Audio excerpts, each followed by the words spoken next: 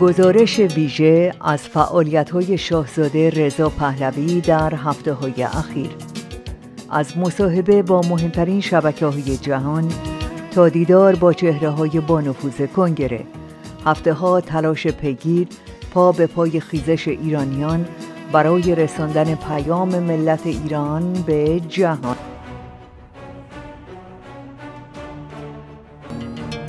شاهزاده رضا پهلوی که با شعارهای رضا رضا پهلوی. ای شاه ایران برگرد به خاک ایران.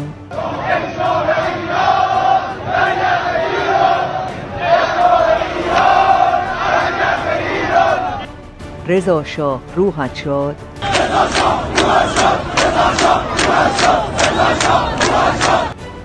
و ایران که شاه نداره حساب کتاب نداره. ایران که شاه نداره حساب کتاب نداره. ایران که شاه نداره حساب کتاب نداره.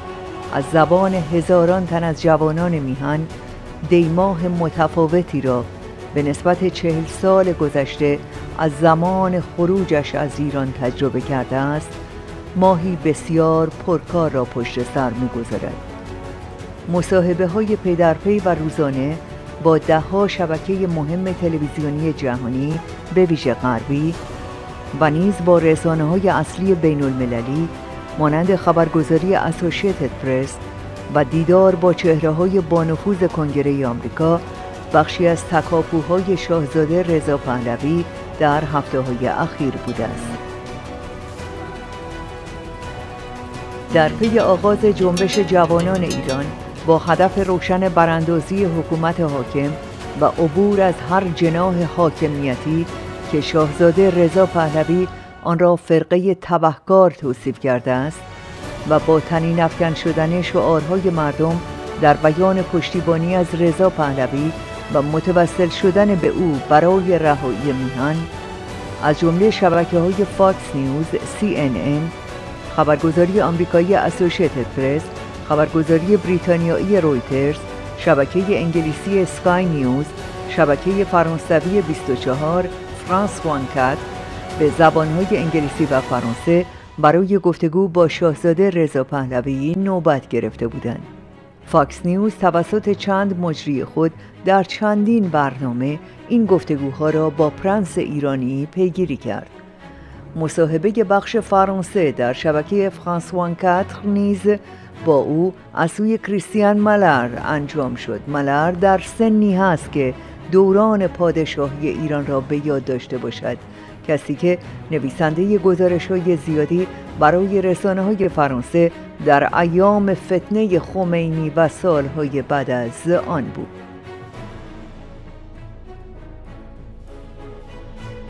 روزهای بعد نیز روزنامه واشنگتن پست و روزنامه های مهم فرانسه.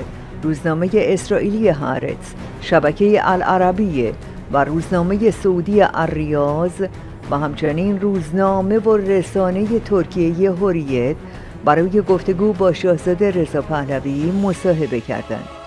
اینها جدای از مصاحبه های شبکه های متعدد رادیویی غربی با وی بود. در روزهایی که جوانان ایران و دیگر اخشار ملت به اسیان آمده شعار می‌دادند ملت گدایی می کند آقا خدایی می کند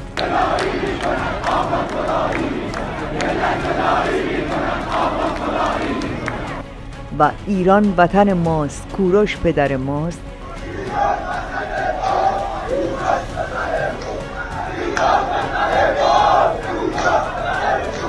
رسانه های جهانی برنامه های مستند و گزارش های متعدد دیگری نیز برای بررسی چرایی انگشت به دندان گزیدن جوانانی که از مشارکت برخی از نسلهای گذشته خود در فتنه سیاه اسلامی ناخشنود شده و آستین ها را برای براندازی رژیم حاکم بر زادگاه بالا زدهاند تهیه و پخش کردند.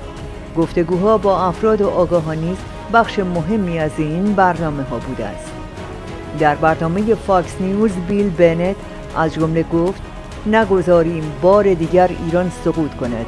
ایرانیان باید بدانند که این بار حامیان قاطعی را در کنار خود دارند. اما پرنس ایران گفتگو با ایرانیان به زبان فارسی را بیش از دیگران مد نظر داشت. او گفتگوهای خود را با ایرانیان با پربیننده ترین شبکه فارسی زبان یعنی من تو آغاز کرد. شبکه‌ای که در هفت سال و نیم کار خود در صدر رسانه های اصلی فارسی زبان به سوی ایران قرار گرفته است. رضا پهلوی همچنین با بی بی سی فارسی با وجود پرسش های گاه گزنده که از سوی مسئولان این رسانه داده شده بود گفتگو نمود. شاهزاده در شبکه ایران فردا نیز در برنامه حدوداً یک ساعته به پرسش های علی رضا نوریزاده پاسخ داد و روزی دیگر هم با علی رضا میبودی در شبکه پارس گفتگوی تقریبا یک ساعته داشت. با وجود این مهمترین برنامه های پرنس خوشسخن و مسلط ایرانی به زبان های بین المللی مردی که در میانه دهه پنجم عمر خیش در زندگی چهل ساله در غربت و در تماس با رسانه های جهانی حاضر جوابی لازم را برای پاسخگویی به گزنده ترین پرسش ها آموخته است. حضور او در روز چهارشنبه بیستم دی دهم ژانویه در کنگره در واشنگتن بود. شاهزاده رضا پهلوی با سناتور تد کروز از حزب جمهوریخواه که از نامزدهای بارز این حزب در آخرین انتخابات ریاست جمهوری آمریکا بود دیدار کرد. در اتاق کار سناتور کروز در مجلس سنا تصویری بزرگ از رونالد ریگن رئیس جمهوری دهه 80 میلادی قرار دارد. پورتره از رئیس جمهوری جمهوری خواهی که در دوران او دیوار برلین فرو پاشید و حکومت هفتاد ساله اتحاد جماهیری شوروی به آخر خط خود رسید. سناتور تد کروز در پایان گفتگویش با شاهزاده رضا در حالی که به این پورتره اشاره می‌کرد به مردم ایران و شجاعان به پا خواسته تاکید کرد که فروپاشی نظام حاکم بر ایران نیست مانند سرنوشت سیاه شوروی امری محتوم است و قطعی. این امر رخ خواهد داد و دیگر حتی مسئله زمان نیست. شاهزاده رضا افسون بر سناتور کروز با سناتور تیم سکات و همچنین سناتور ارشد هاچ و عضو مجلس نمایندگان آدم کینزینگر دیدار کرد. شاه بیت این دیدارها را شاید بتوان در جمله سناتور هاچ جمع بندی کرد که گفت ایران کشور بزرگی است که اگر رهبری مقبول و شایسته داشته باشد آینده درخشان خود را تضمین کرده است. شاهزاده ایران شش ماه پیش نیز در کنگره با شماری از سناتورها و متنفذین هر دو حزب از جمله سناتور جان مکین و الیوت برانز دیدار و گفتگو کرده بود. این حضورها به هواداران او روزی را یادآوری کرد که محمد رضا شاه پادشاه خیرخواه ایران در اوج شکوفایی این کشور میهمان ویژه کنگره واشنگتن بود. سخنرانی کرد و به عنوان یکی از رهبران خردمند جهانی تقدیر شد.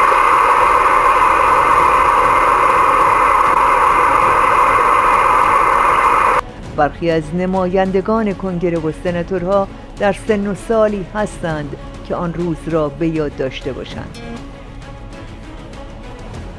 این روزها در کنار فعالیت های متعدد پرنس ایران برای خبررسانی به سران جهانی در مورد ندا و خواسته های همیهنانش مادر شهبانو فرح پهلوی نیز در بیانی هایی با پشتیبانی از فرزندان ایران با خانواده های قربانیان و زخمی شدگان و زندانیان ابراز همدردی کردند.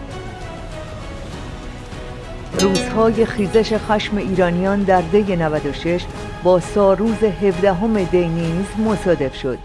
شهبانو همواره در تمامی این سالها به مناسبت 17 همه دی پیام آزادی خواهی و شایستگی زن و دختر ایرانی را ندا دادند و حتی در سالهای اندوه از دست دادن همسر و فرزندان اشاره به این مناسبت های مهم ملی را فراموش نکردند. عبارت شهبانو مبنی بر اینکه نور بر تاریکی پیروز است اکنون دیگر برای هر کسی آشناست و امید را در دلها شعله ور می کند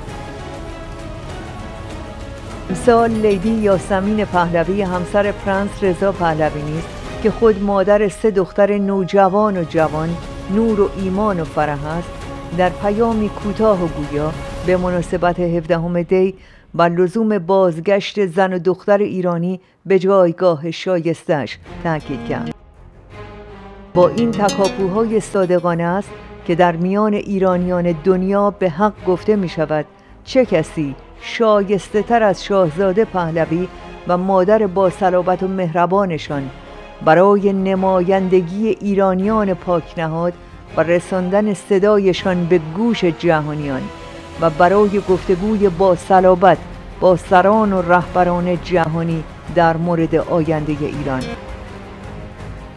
شاهزاده رضا پهلوی پیوسته در این گفتگوها در این دوره چه با رسانه ها و چه با مقامات آمریکایی و بین المللی تاکید کرده است که مهم نیست دیگران چه می‌گویند. مهم این است که ملت ایران چه می‌گوید و چه می‌خواهد. او تاکید دارد که ایرانیان بر روی پای خیش می ایستند و خود شجاعانه در این مبارزه با اصالت ظالمان تاریک اندیش حاکم بر کشورشان را به زیر خواهند افکند و جهان را به گام زدن در مسیر احترام به ملت و خاک و حفظ منافع ملی ایران دعوت خواهند کرد. مردمی که حقشان این نیست که فرزندانشان به روی دریای ثروت قوت لایموت خود را از میان زباله ها بیرون آورند. تا حسن نصرالله بگوید که پول و نان و آب و جنگ افزار و همه چیز حزب الله از ایران می آید موازنة حزب الله ومعاشاته ومصاريفه وأكله وشربه وسلاحه وصواريخه من الجمهورية الإسلامية في إيران.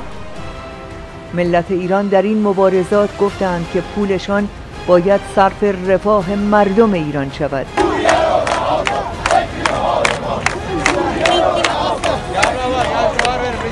و بنا به تاکید شاهزاده زمانی که رژیم بر افتد سیاست های ماجراجویانه حکومت نیز متوقف خواهد شد و خیر جهان و بشریت در ساقط شدن رژیم فرقه تبهکاران است.